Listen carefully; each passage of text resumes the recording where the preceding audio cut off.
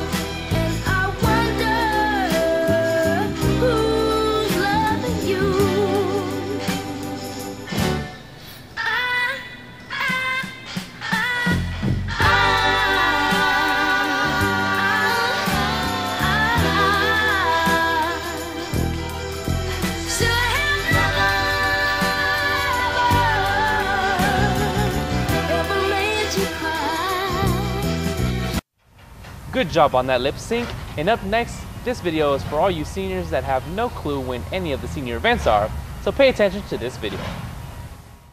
Hello Trojans, this is Steve Molina and this is Trojan News.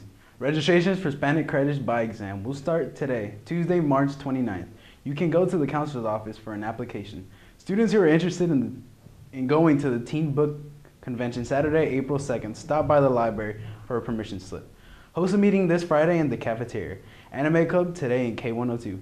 Christ on Campus tomorrow on F219. Prom tickets will become $80 after this Thursday, so make sure to buy yours on time. Back to you, Nathan. So seniors, make sure to write those dates in your calendars. And last but not least, we have Steven with announcements. Hey Trojans, Saturday, April 2nd, there will be a, the Greater Houston Teen Book Convention at Alief Taylor High School from 9 a.m. to 5 p.m. Admissions will be free, so might as well come.